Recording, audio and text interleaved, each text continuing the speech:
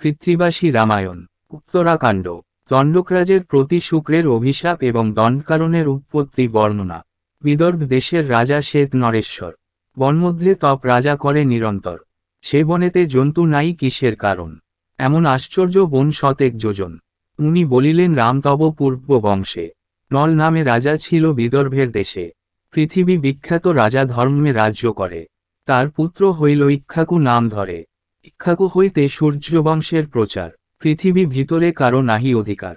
সত্য করাইয়া রাজা পাত্রে রাজ্য দিল। তপস্যা করিয়া রাজা স্বর্গবাসে গেল। ইক্ষাকু কনিষ্ঠ ভ্রাতা নামের ঈশ্বদণ্ড ইক্ষাকু জিনিয়া সেই নীল ছত্রদণ্ড সূর্যবংশে জন্মিয়া যে করে অনাচার। পরাস্ত হইয়া তারে দিল রাজ্যভার। ঋষ্যশৃঙ্গ পর্বতে ভূপতি রাজ্য করে। মধু নামে পুরী তথা বসায় নগরে। রচিয়া বিচিত্র পুরী দণ্ড নরেশ্বর। ইন্দ্রের অধিক সুখ ভুঞ্জে নিরন্তর। সুখেতে থাকিতে তাই দেবতা পাষণ্ড। শুক্রের বাটিতে একদিন গেল দণ্ড। অবজা নামে ছিল এক শুক্রের কুমারী। পুষ্প তুলিবারে আইর পরমা সুন্দরী। রূপে আলো করে কন্যা সুখে তুলে ফুল। কন্যারে দেখিয়া রাজা হইল ব্যাকুল। দেখিয়া কন্যার রূপকামে অচেতন। হস্তেতে ধরিয়া কহে মধুর বচন, কাহার যুবতী তুমি কন্যা বলকার? অবশ্য কহিবে মোরে সত্য সমাচার। কন্যা বলে শুন রাজা নিবেদন করি। শুক্র মুনিকন্যা, আমি অবজা নাম ধরি। মোর পিতা হয় তব কুল পুরোহিত।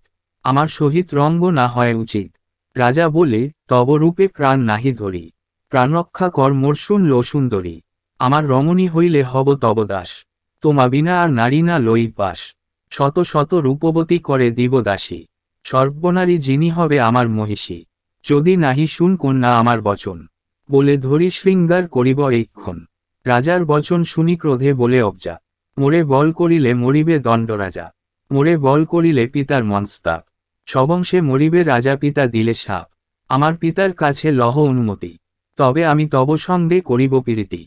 রাজা বলে তব পিতা আসিবে কখন? তদ্বধি ধৈর্য নাহি ধরে মোর মন। তোমা বিনা আর মোর মনে নাহি আনো। পায়ে ধরি কন্যা মোরে দেহ রতিদান। প্রাণ রক্ষা কর মোরে দিয়া আলিঙ্গন। তব আলিঙ্গন বিনা না রহে জীবন। জোরহাতে ভূপতি পড়িল কন্যা পায়। উত্তর না দেয় কন্যা, অশেষ বুঝায়। দৈবের নির্বন্ধ কন্যা রাজে দেয় গালি। বলে ধরি শৃঙ্গায় করয়ে মহাবলী।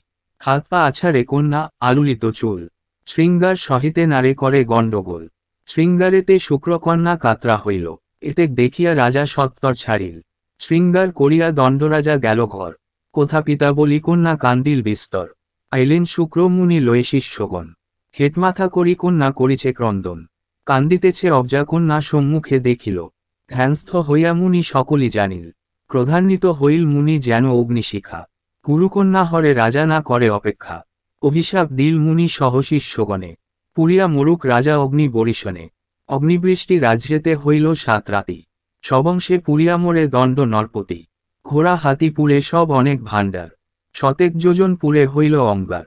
সবংশেতে দণ্ডরাজা হইল বিনাশ। শুক্রমুনি বসিলেন ছাড়িয়া নিঃশ্বাস। ব্রহ্মসাপে শত যোজন না হয় বসতি। দণ্ডারণ্য বলিয়া সে বনের খ্যাতি।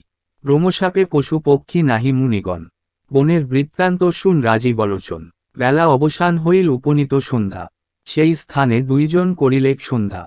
মিষ্টান্ন ভোজন মুনি করাইল রামে। সেই দিন বঞ্চিলেন মুনির আশ্রমে। রজনী প্রভাতে রাম মাগিয়া মেলানি।